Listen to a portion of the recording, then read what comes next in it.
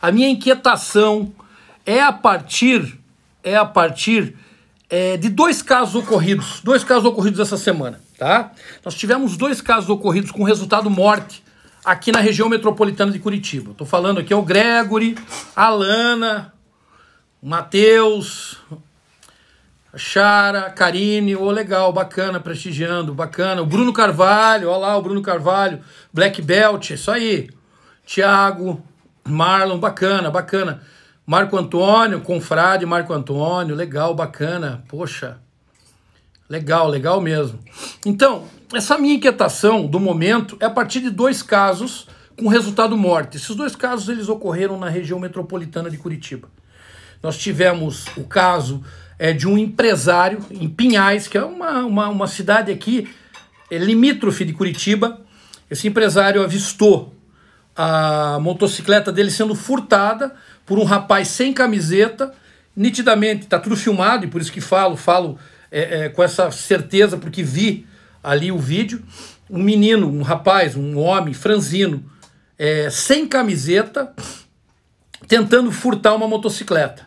Tentava furtar a motocicleta, tabalhoado, possivelmente ali estava sob uh, o efeito de alguma substância entorpecente, e o empresário da sacada do sobrado dele efetua alguns disparos de arma de fogo, sendo que um dos disparos acaba atingindo a cabeça é, desse, desse sujeito que tentava furtar essa motocicleta. Teve o resultado morte. Ele foi preso por posse ilegal de arma de fogo e foi preso por homicídio. Ele foi autuado em flagrante por homicídio. Então queremos analisar o seguinte: a situação dele o ponto de vista da legítima defesa, sob o ponto de vista do delegado, se esse tratamento jurídico ele é adequado, não é, se está ou não, se, não, não está certo. Isso foi no dia 10. No dia 12, na data de hoje, o que, que aconteceu? Nós tivemos um caso em que um ônibus de turismo, na, na região metropolitana também, numa cidade chamada Campina Grande do Sul, ele é interceptado por uma quadrilha. Essa quadrilha faz com que ingressem três assaltantes dentro desse ônibus e um, um dos, dos passageiros ali do ônibus acaba se valendo de uma pistola e atira em dois marginais. Acaba matando esses dois marginais. E o terceiro entra no banheiro e parece que sentiu cercado, pula o banheiro do, do, do ônibus e acaba sendo atropelado. Então tivemos o resultado morte para três pessoas. Vamos analisar isso que, que ele recebe? Ele vai até a delegacia, presta os esclarecimentos e é liberado pelo delegado de polícia.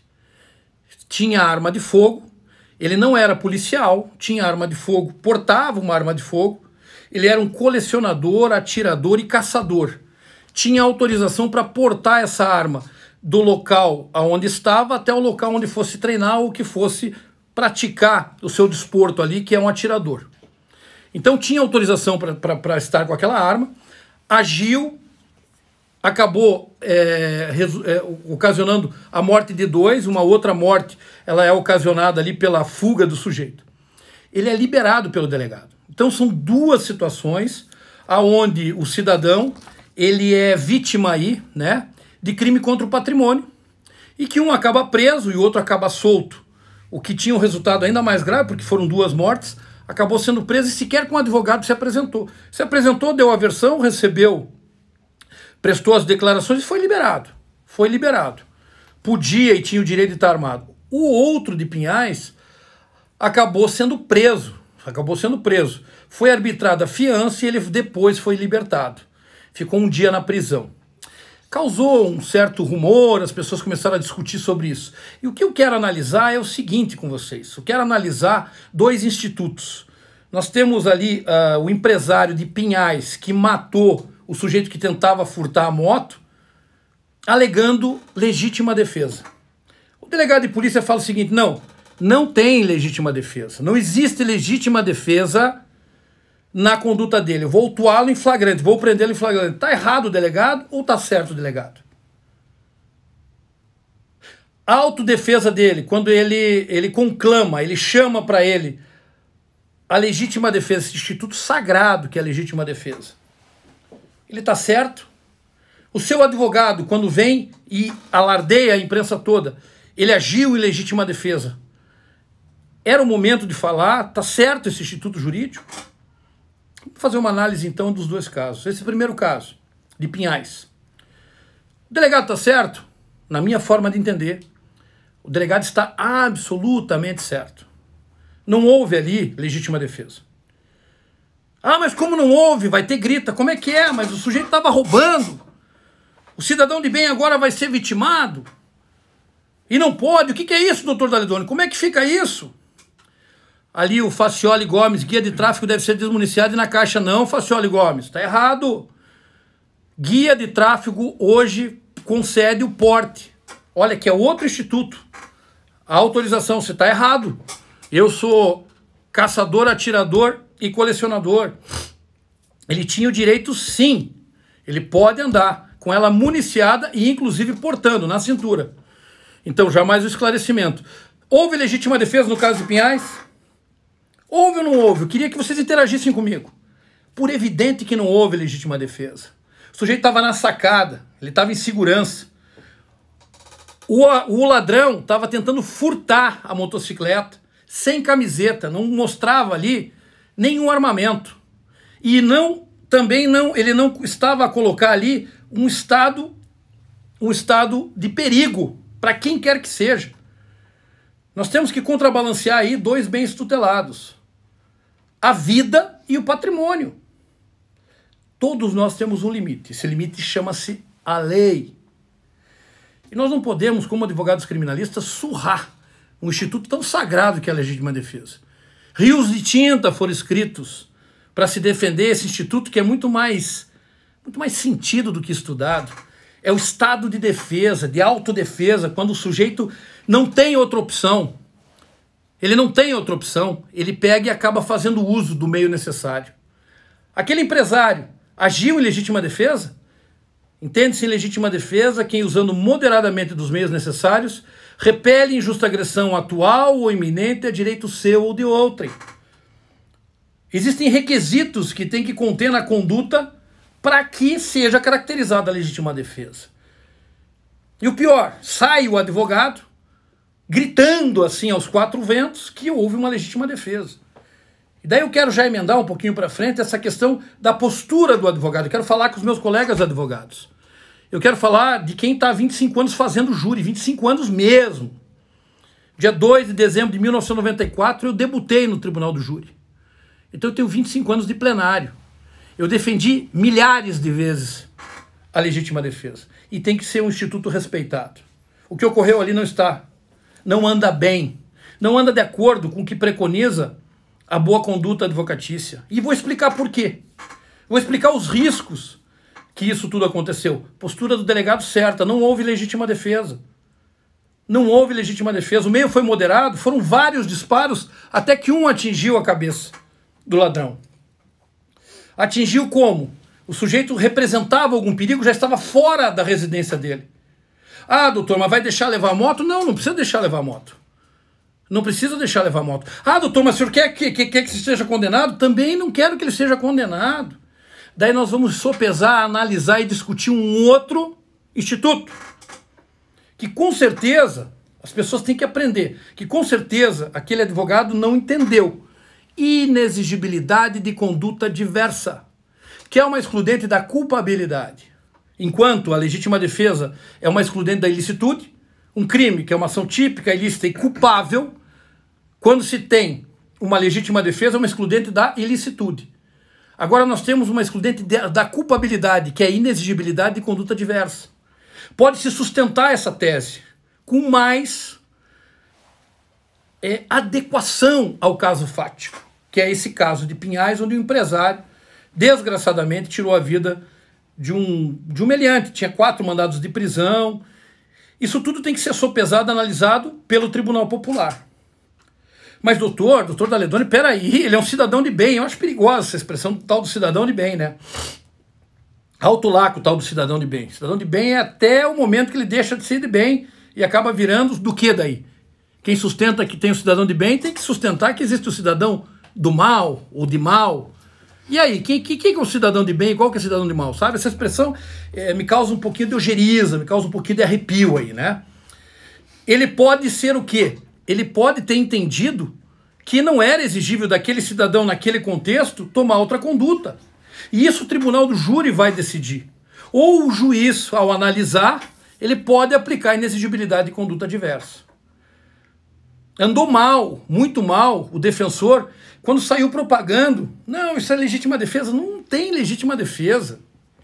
Sabe? As colocações ali do defensor, naquele momento na imprensa, numa ânsia louca, desmensurada ali, é, até porque os holofotes estavam ali a brilhar ao lado dele, essa, essa, essa ânsia dele fez com que as autoridades, o promotor natural daquela causa, o promotor lá de São José dos Pinha, de Pinhais, né?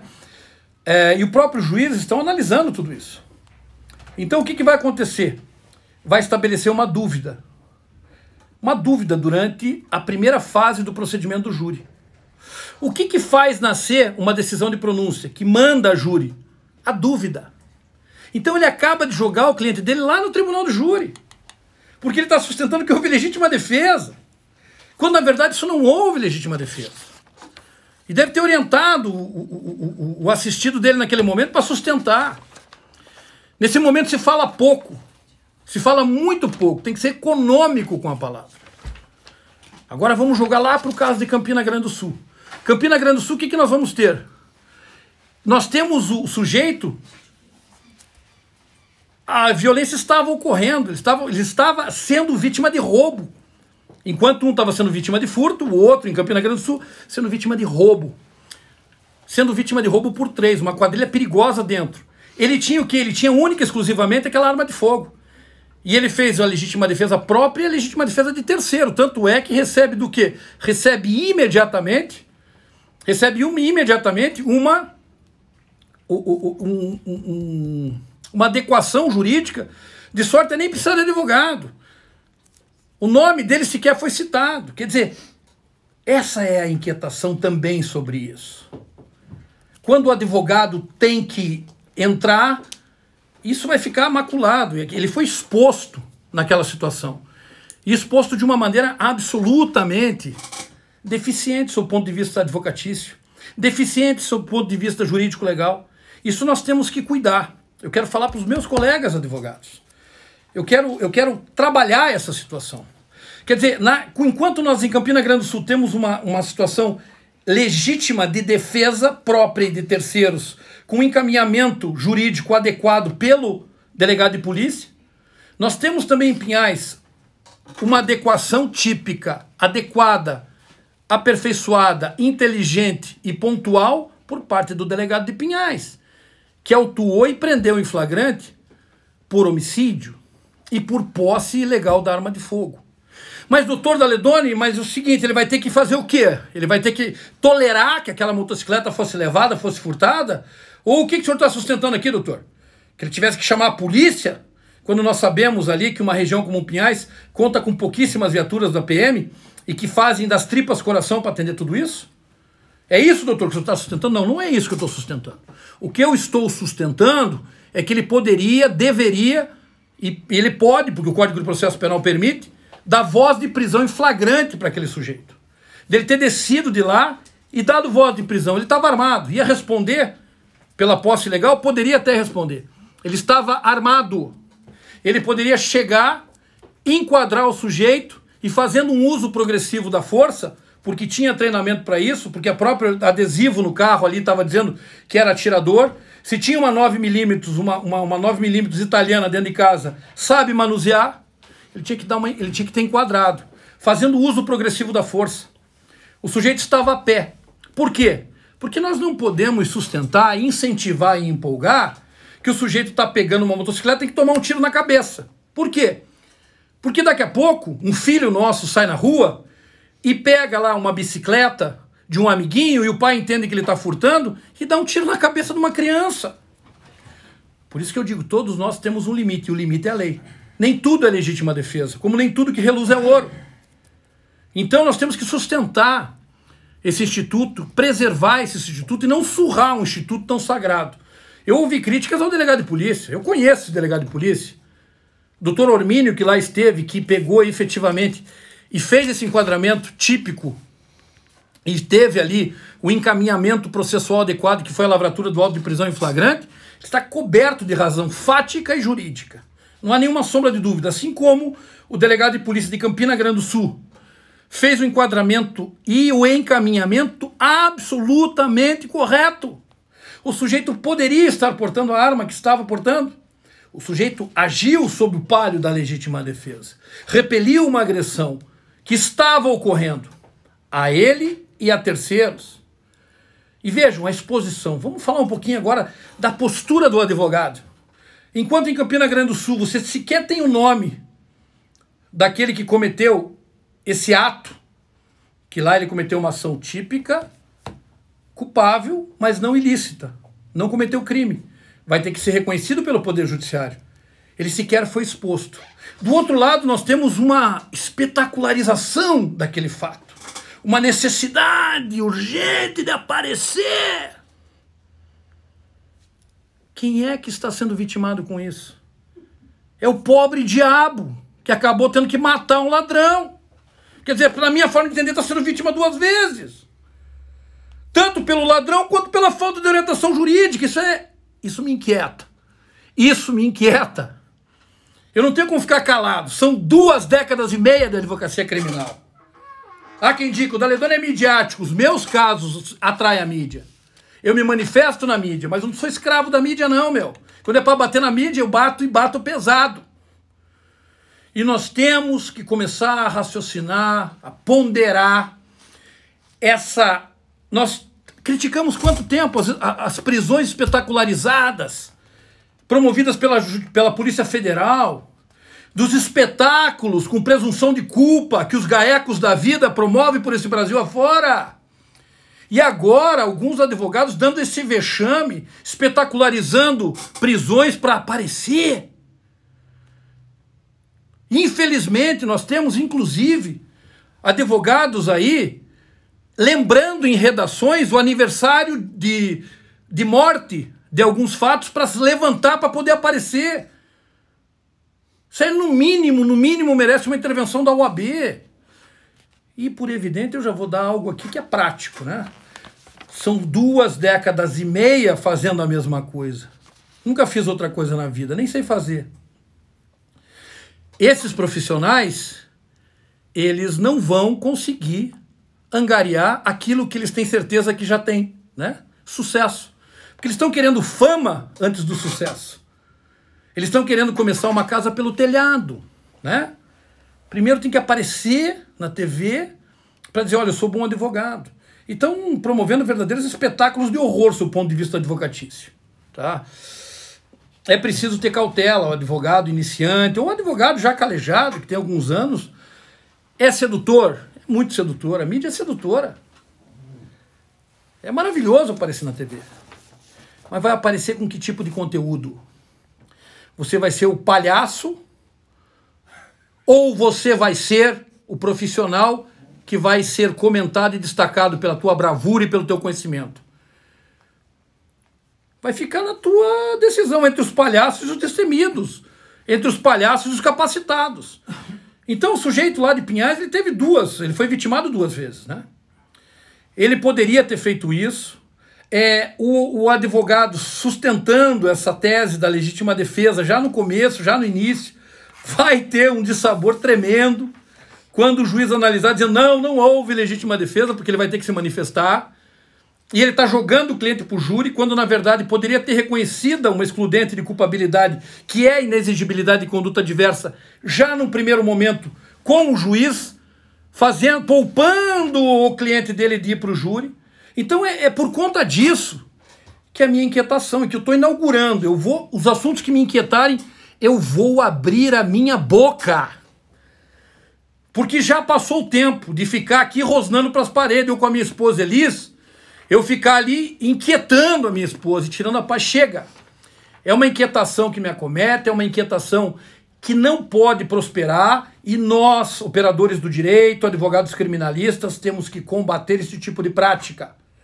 Nós temos que combater. Por quê? Porque depois a gente fica sendo ridicularizado por promotor de justiça.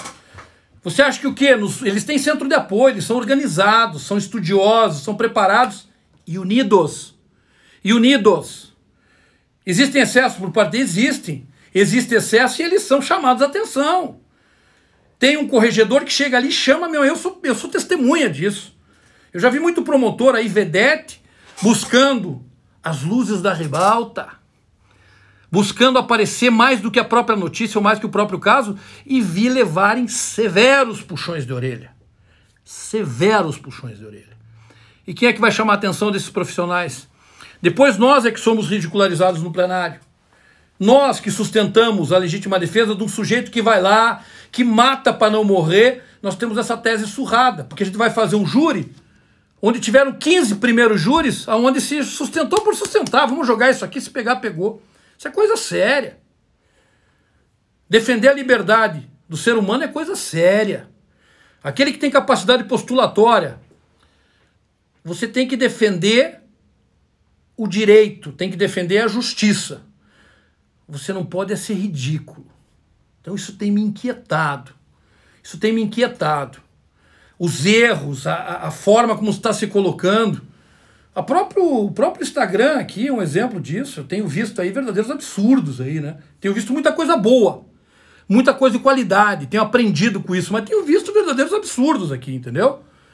A mercantilização da advocacia, a mercantilização da advocacia, as pessoas se, se ufanando de professores, de catedráticos, sem nenhum conteúdo, sem ter experiência e, e, e, e passando uma motivação para profissionais. Tenho visto aí verdadeiros escândalos também, uh, escândalos de profissionais já calejados, fazendo escândalo na frente de fórum, tirando roupa, fazendo aquele escândalo. E, e pode, você pode revistar aqui minha mala. Cuidado aos advogados iniciantes. Não caiam no canto da sereia faz isso aqui ali escolhidinho. Vai o advogado ali, motivado, até inspirado por uma palhaçada dessa, vai tomar uma cana. E esses que estão aí incentivando esse tipo de prática abominável vão dar de ombro se vocês procurarem. A mesma coisa é abandona plenário, abandona plenário. Tenho ouvido muito isso. Abandona em plenário para ver. Eu já experimentei. Abandonei quando tinha que abandonar e brigo porque fui multado em 100 mil reais. Toma um advogado iniciante e uma multa dessa, aleja o sujeito, acabou com a advocacia dele. Então nós precisamos ser corajosos, valentes, mas técnicos e não ridículos. A justiça criminal não é circo, não é palhaçada. A justiça criminal, a imprensa está ali para nos ajudar. Tem que saber trabalhar tecnicamente. Não sabe se meter com a imprensa, não se meta. Não se meta com a imprensa. Do mesmo jeito que ela te levanta, ela te arrebenta, ela te derruba. Eu tenho, esses, eu tenho essas duas décadas e meia de advocacia criminal no tribunal do júri. E eu tenho quase 50 anos de idade. Eu tenho um núcleo de comunicação que está me orientando o tempo todo do que eu devo e do que eu não devo fazer. Eu pergunto uma, duas, três, dez vezes para esse núcleo de comunicação para saber o que, que vai fazer, o que, que vai deixar de fazer. O risco é muito grande. Obrigado aí, Recife, lhe aguardo de braços abertos. Obrigado, Recife, obrigado, Nordeste.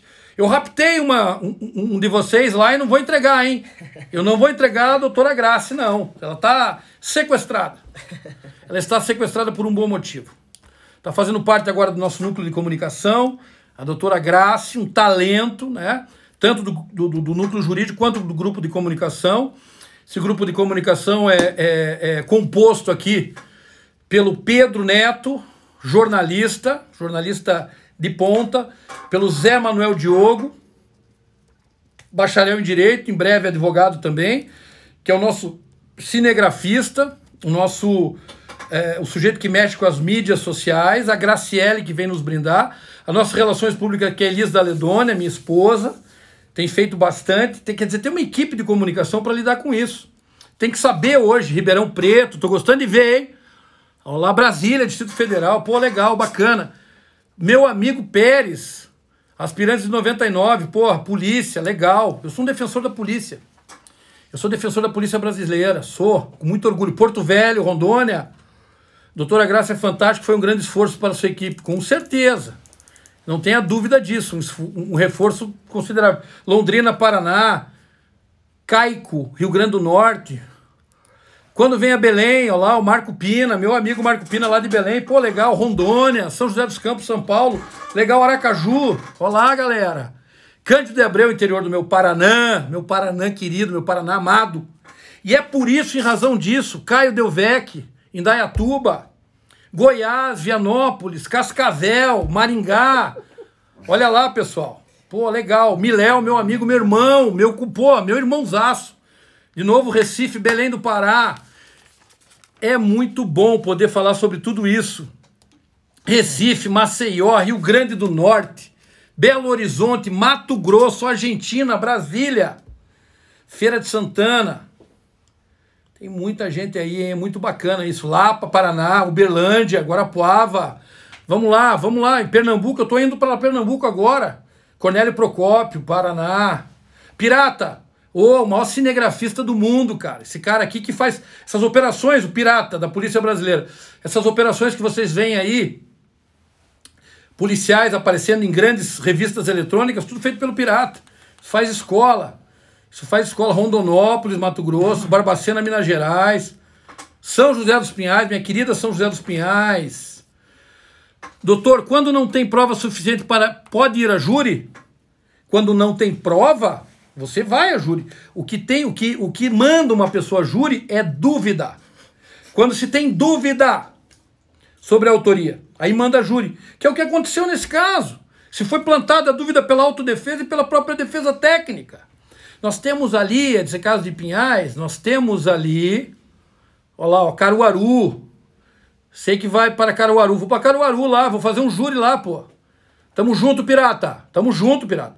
Vamos lá para Caruaru, São Luís, o Maranhão, ó, oh, Fidelis, pô, legal. Manaus, Manaus, querida Manaus, hein? Terra que eu aprendi a amar. Terra que eu aprendi a amar. O Tribunal do Júri em Caruaru vai tremer com a dupla Raulison Ferraz e Cláudio Daledoni. Que Deus abençoe, tá isso aí.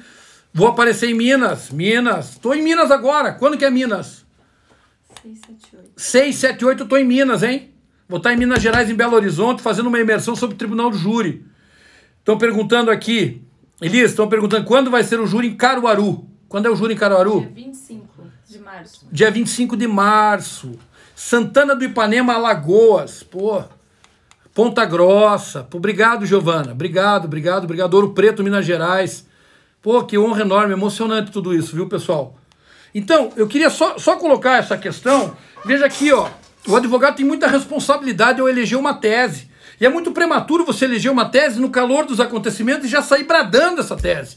Uma tese errada, equivocada, que está jogando o sujeito para o tribunal do júri. Claro que o advogado ele é o pior homem do mundo, não, ele não tem experiência. Nitidamente não tem experiência, não é um advogado do júri. Mas consultasse um colega. E na dúvida, fica quietinho, deixa mainar. Ah, mas daí ele não vai. Ele pode aparecer, ele, sol, ele soltaram lá, o juiz soltou o, o, o, sujeito. Ele aparece, ele pode fazer uma coletiva, ele diz que os fatos vão efetivamente ficar todos ali é, bem é, é, delineados durante uma eventual instrução criminal.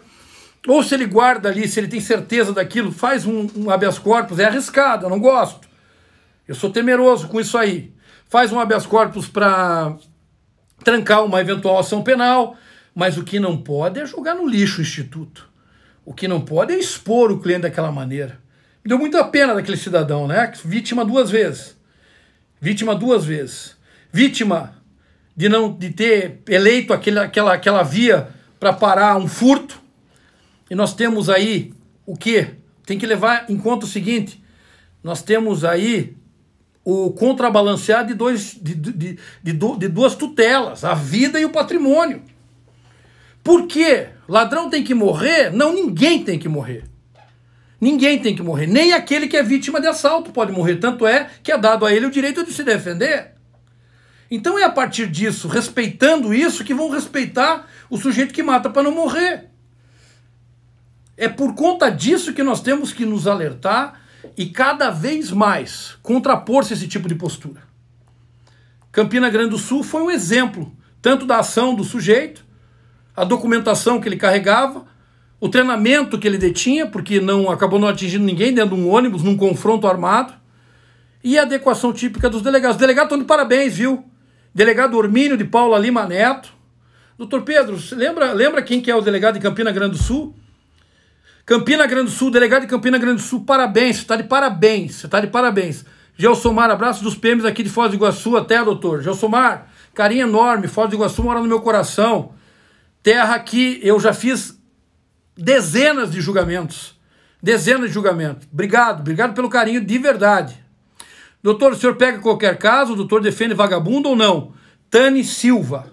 Defender vagabundo não depende né, do que você acha que é vagabundo. Né? Depende do que você acha que é vagabundo. Vagabundo pode ser tanta coisa, né? Pode ser tanta coisa. Esse tipo de, de colocação é muito perigosa, né? Porque o sujeito acha que é vagabundo até a polícia bater na porta dele e precisar de um criminalista. Aí muda esse conceitinho de vagabundo, né? Vejo muito isso. Vejo demais isso, né? O vagabundo de hoje é o igual o filho dele de amanhã, né? Que pode estar envolvido com alguma coisa, né? E o advogado criminalista que defende vagabundo pode ser o salvador da pátria do filhotinho que se meteu numa enrascada, que estava no bolso com baseadinha e a polícia nhoque, prendeu. Aí o, o, advogado de vagabundo vira herói. Então vamos parar com isso. Vamos parar com isso, que aqui ninguém está de brincadeira. O advogado defende o Estado Democrático de Direito e vai defender com unhas e dentes, com valentia, com coragem, com determinação e principalmente com técnica. Não isso que a gente assistiu aos advogados iniciantes que fica aqui, fica aqui a dica, fica aqui o conselho, fica aqui essa troca de experiência, como vocês queiram chamar. Eu não sou dono da verdade, não sou professor de Deus, mas eu não posso ficar quieto. Por isso que são as inquietações de Cláudio Daledoni. Inquietações de Cláudio Daledoni. E eu quero fazer mais inquietações. Eu quero ter mais inquietações sobre isso. Essas colocações são absolutamente necessárias para o quadro que nós vivenciamos hoje. Nós temos ali a, a atuação dos delegados, com todo toda a minha admiração. Nós temos ali a atuação de um sujeito preparado para reagir. sujeito que quer ter arma tem que estar preparado para reagir. Nós tivemos um sujeito absolutamente preparado, que não colocou em risco uma dezena de pessoas dentro, nós temos que ter análise e inquietação daqueles que estão aí a combater o delegado de polícia Ormínio de Paula Lima Neto, que autuou e prendeu em flagrante e que a juíza soltou, e soltou não porque ele agiu em legítima defesa, porque ele não agiu em legítima defesa, o instituto ali não se aplica. Reiterando, entende-se em legítima defesa quem usando moderadamente dos meios necessários repele uma injusta agressão atual ou iminente a direito seu ou de outrem. Tinha algum perigo? O sujeito estava desarmado, nitidamente desarmado. De bermuda, sem camiseta, nitidamente delirante ali, no, no, no, no efeito de, de alguma substância entorpecente, tentando furtar uma moto de forma atabalhoada, o empresário lá na sacada. Então, essas questões devem ser ponderadas. Nós devemos sempre medir aquilo lá está. E a postura tida pelo advogado, remete, sem sombra de dúvida, aquele empresário que tinha o direito, não era exigível dele uma outra conduta, ele pode sustentar isso. É uma excludente de culpabilidade, inexigibilidade de conduta diversa. Inexigibilidade de conduta diversa. E não, e não, uma excludente de ilicitude que é a legítima defesa. É um erro, é um erro técnico. O, o me acaba de chegar a informação, Segundo o delegado de Campina Grande do Sul, Antônio Macedo de Campos. Antônio Macedo de Campos. Eu acho que é o Macedão, né? Antigo. Uhum. Antigo Macedão. Meu amigo, meu amigo, delegado aí com quase 30 anos de, de, de carreira. Entendeu? Uma ação do delegado elogiável, uma ação do atirador elogiável, uma ação da PRF elogiável que conduziu. Isso é dar a cada um o que é seu. Eles deram o trato legal que o cidadão merecia, respeitando os direitos e os institutos. Então, é isso, doutor, tu és gigante, Júlio das Torcidas, acompanhei de perto até a madrugada, trabalho espetacular. Jeff Santos, obrigado, obrigado mesmo. A indicação de doutrinas para iniciantes na área criminal. Tem várias, Veloso. William Veloso. William Veloso, a indicação de doutrina. Tem muita doutrina boa. Tem doutrina, ó, vou pegar um aqui, tá? De pronto. Um que eu indico. Marco Antônio Naum. Inexigibilidade de conduta diversa. Causa supralegal, excludendo de culpabilidade. É uma das bengalinhas aqui do, do Tribuno do Júri. Grande obra. Tem outras aqui muito boas. Tem muito boas aqui. Me alcança ali. Eu tava, tava até folheando aqui uma, uma doutrina. Na bolsa. Eu peguei. Aqui, tá aqui, só um minuto. Doutrina muito boa. Desculpe essa maneira informal aqui. Eu estou no escritório da minha casa, estou tomando a liberdade e o tempo invadindo aqui a tela dos senhores, o que é sensacional. Gabriel César Zacaria de Nelas, da exclusão da ilicitude. Excepcional obra. Excepcional obra, escrita por um procurador de justiça, um profundo estudioso do Instituto da Legítima Defesa. Nós temos aqui, ó, da excludente de culpabilidade e da excludente de ilicitude. Isso aqui, ó, isso aqui, isso aqui, ó, lê, né? Não, é, não ter só na prateleira. Você vê que leu por aqui, ó, marcado, grifado, trabalhado. Isso aqui não é para ter só na prateleira, não para tirar fotografia ou para aparecer na imprensa. Até quando vai acontecer isso? Até quando vai acontecer isso? Nós temos o Instituto, nós temos a maior solenidade do direito processual brasileiro sendo absolutamente aviltada e desrespeitada. O sujeito pensa que é botar uma beca que está tudo resolvido.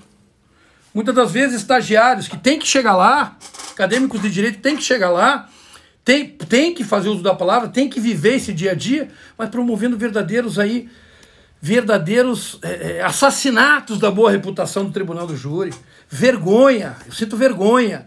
Tem uns e outros aí que é, é, é, é vergonhoso o que tem feito. É vergonhoso o que tem feito. Ao passo que tem excepcionais profissionais. Eu conheci um, uma gama enorme, graças a Deus que é muito mais gente boa do que gente ruim. Gente ruim ali. É, é, eu digo o seguinte: Tribunal do Júri é solo sagrado. Aquela tribuna é sagrada. Aquela tribuna, aquela tribuna sustenta até hoje a mim, a minha esposa, os meus filhos, aos filhos dos meus filhos, se Deus quiser, aos meus sócios, aos filhos dos meus sócios e outros tantos profissionais que tem que respeitar aquilo ali. Aquilo não é uma casa de Irene, não. Onde o sujeito coloca uma beca, se diz advogado, quando na verdade muitas vezes nem advogado é, nem inscrito na OAB é. O sujeito bota uma gravata, sai na televisão, passa a printar na tela, se dizer, se ufanar por ele mesmo, que ele é bom, que ele é ótimo, que ele é excelente, passa ali a ter seguidores no Instagram e acha que está resolvido. Não. Se resolve é lendo, estudando, não passando vexame. Tribunal do Júri é coisa séria. Liberdade alheia é coisa séria. Justiça criminal o que há de mais sério no mundo. Carrara sempre anunciou isso. Tudo deve ser claro, translúcido. Isso não é brincadeira, pessoal. Isso não é brincadeira. Estou colocando as minhas inquietações aqui, não sou dono da verdade. Não sou nem quero ser. Sou um homem infalível, sou um homem que ganhei, que perdi, mas eu não vou perder nunca é a capacidade de me indignar com verdadeiras atrocidades que eu tenho assistido. O Tribunal do Júri é minha casa. O Tribunal do Júri é solo sagrado. E eu vou começar a me inquietar. Me inquietar cada vez mais. Como é que ele está de tempo aqui, meu pessoal, meu povo? Quase chegando. Faltam 20 minutos, é isso? Isso. Mais 15 minutos. Pra, uns 15 minutos para completar. Essas são, vamos dar uma lida aqui, a maioria dos advogados não estuda. Não, não estuda mesmo, Marco Antônio, não estuda mesmo. Doutor. Cirúrgico, advogado sem bom senso não é que não dá, criminalista então. Não, não tem como. Tudo é na base do bom senso, pois não, Graça? Doutor, eles querem saber muito como prosseguir o início da carreira. Já os jovens advogados. O início da carreira, eu vou falar, eu sou advogado do júri, tá? Um criminalista do júri. Os senhores têm que assistir eu recomendo, sem sombra de dúvida, mais um tanto quanto boas doutrinas, eu recomendo que os senhores peguem e vão às comarcas, às, às comarcas dos senhores ali, e assistam julgamentos populares. Até hoje, eu assisto, pode ser o júri que for. Amanhã, por exemplo, eu vou lá assistir um júri. Amanhã eu vou lá assistir um júri e vou ver como é que tá. O sujeito bota na cabeça isso. Vai lá, leva uma caneta e um papel, anotem. Tudo acontece no júri Você sempre sai de lá com algum aprendizado. Você sempre vai sair de lá vendo uma postura positiva ou negativa, mas na maioria das vezes é positiva. Você vai aprendendo, até hoje eu aprendo, vendo o júri de um iniciante. Você vai lá ver uma, uma, uma posição do promotor, você vai ver uma, uma postura do, do juiz para com o advogado, a postura dos advogados. Isso tudo é muito importante. Bittencourt é bom de doutrina, Lucas? Não, eu não gosto da doutrina do Bittencourt. Não, não gosto. Eu, particularmente, não gosto. Não gosto da doutrina dele e também já se aventurou a fazer júri. E o júri que eu assisti aqui foi um júri muito ruim. Não é do júri também, se meteu a fazer júri aqui e foi um fracasso. Doa a quem doer. Eu não estou aqui para poupar ninguém. E se quiserem me criticar, vocês fiquem à vontade também. Não sou dono da verdade, tá? Não sou dono da verdade. Porque tem muita lenda, muita farsa, muita conversa fiada nesse meio aí, tá? Bittencourt para uma coisa rasa, para estudar ali para um, uma prova tal, tudo bem, mas não, não, não acredito. Não acredito. Ver que vi um jovem advogado surpreendente, poxa, queria ver aqui, como é que eu posso resgatar? Ele diz assim, doutor, ah. vi um jovem advogado surpreendendo com as teses de inegibilidade eu, acadêmico, e o jovem advogado da Ledone. Estamos velhos, meu caro, graças a Deus. É o doutor Miléo. Doutor Miléo, meu amigo Miléo. Jovem ainda, né? Tem uns. Tem, ó, possivelmente esse júri que ele assistiu, que ele sempre faz referência, pode ter aí de, de. Pode ter aí uns 15 ou 16. Dói mais perder um júri ou um cruzado do Pelé Landi? Olha, eu já, eu já treinei pesado com o José Landi. Fenômeno já trocamos muita porrada, já levei muita porrada do, do, do, Pelé, já dei muita porrada nele também. Ele sempre foi muito melhor do que eu em tu, na luta. Mas perder um júri. O que é perder um júri? O que é perder um júri? Não existe ganhadores, não existem perdedores no tribunal do júri. O advogado criminalista nunca vai perder um júri se ele estudar a causa, ele preparar o caso e ele chegar lá com coragem, ele enfrentar tudo que a gente enfrenta para defender um pobre diabo que está lá sentado, muitas vezes indefeso, e uma covardia tremenda do Estado. Ele pode ter um resultado negativo, mas ele não perdeu se ele atendeu a esses requisitos que eu estou dizendo. Então aquilo ali não é um jogo, aquilo ali nós temos vida envolvida, nós temos dor, temos desespero, nós temos o drama humano em sua essência sendo retratado ao vivo e a cores naquilo tudo ali, tá? Fiz meu primeiro júri aqui em Manaus depois de ver o senhor no caso do delegado solteiro, Valdemir Torres. Pô, legal. Honra, me honra muito que assistiu lá o julgamento. Foi um julgamento pegado, pô, foram três dias ali. Grande debate, aquele promotor maravilhoso. Tinham 25 advogados na cesta de acusação, OAB era assistente. Advogados ali raçudos mesmo. Me judiaram lá, né? Tivemos um meio a meio. Você vem defender clientes no tribunal de júri com frequência? Lucas Guilard. Eu, a minha atuação é no tribunal do júri. Como o senhor conseguiu. Você não curso de? Técnicas do tribunal do júri. Acabaram de lhe perguntar. Hã? Acabaram de lhe perguntar. Eu quero lançar um curso de técnica e de prática do tribunal do júri. Tá perguntando, eu estou te respondendo. Aqui pergunta o que vocês quiserem. Eu não quero poupar nada e nem ninguém. E aqui não tem reserva de conhecimento, não. Tá? Eu estou deixando claro, isso está gravado. Comigo, palavra não faz curva. Ok? Eu vou fazer um curso sim. Eu vou fazer um curso. Mas eu quero começar assim. Se eu já atuei com uma cena de acusação, qual a sua opinião quanto a isso? Já te respondo. Eu quero, eu quero ensinar o jovem advogado a preparar a causa, a estudar o caso, a saber como lidar com a imprensa, a saber como lidar com o estado de júri, aquela, aquele frio na barriga no, na noite em que antecede o julgamento. Eu quero fazer tudo isso. Eu quero ir além. Eu não quero ficar trocando correspondência ou trocando técnicazinha surrada que todo mundo faz. Eu estou preparando algo muito bacana. Obrigado, Caio. Obrigado, cara. Se você vem muito da cidade de São Paulo, Fórum Criminal Barra Funda. Lucas, eu tenho um júri para fazer em São Paulo, mas eu não sou um assíduo frequentador de São Paulo. Mas eu tenho um júri para fazer lá. Eu tenho um júri que vai ser muito legal, eu vou anunciar. Mas eu quero anunciar que eu estou preparando algo muito especial para você que quer aprender a ser advogado do Tribunal do Júri, sem passar vergonha. sem passar vergonha. Perguntaram do Quaresma, doutor. O que que perguntaram do Quaresma? Esse é da Ledone, porrada neles. Aí, Pérez, pô, é nós. Parabéns, doutor Daledone. Pô, obrigado, obrigado. Polêmico e irreverente. Esse é o Daledone. Obrigado. Esse curso certamente vai ser demais. Escreve um livro. Estamos escrevendo, mas é muito, ainda muito cedo. Muito cedo, mas vou escrever, vou escrever. Boa, doutor. Você é fera, meu amigo. Venha a Belém ministrar, por favor. Esse curso vai ser não só aqui. Eu quero fazer ele no Brasil inteiro. Vai ser imersão de verdade. Eu quero ensinar junto. E vamos fazer um júri no final desse curso. Vamos fazer um júri comigo. Ser dativo é bom, é excelente ser dativo, quem fez essa pergunta. É excepcional, eu aprendi sendo dativo. Tem que ser dativo, tem que ser dativo. Tem que ir lá, tem que se colocar à disposição, aprender. Tem um grande. Aqui tem um. Aqui, ó, resgata para mim, por favor, aqui essa pergunta.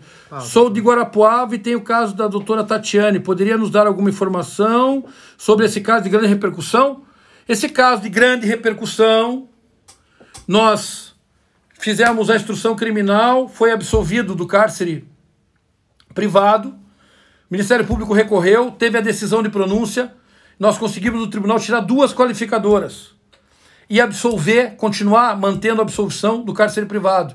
Isso vai ser um grande júri, um grande júri em Guarapuava. E eu afianço os senhores, ele é efetivamente, efetivamente inocente.